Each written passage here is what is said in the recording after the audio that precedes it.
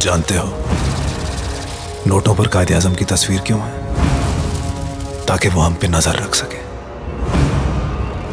और जब भी हम कोई गलत काम करें तो वो हमें देख रहे हैं। और ये अगर ये सच है ना तो किसी पे टेस्ट करते हैं।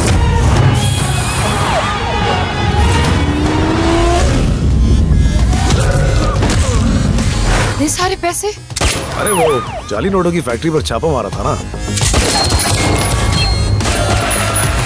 लेकिन इन पे तो कायदे आज़म की तस्वीर भी नहीं है।